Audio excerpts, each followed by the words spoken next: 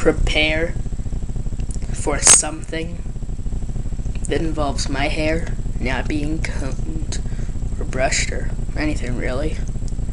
Just dried. Do you like waffles?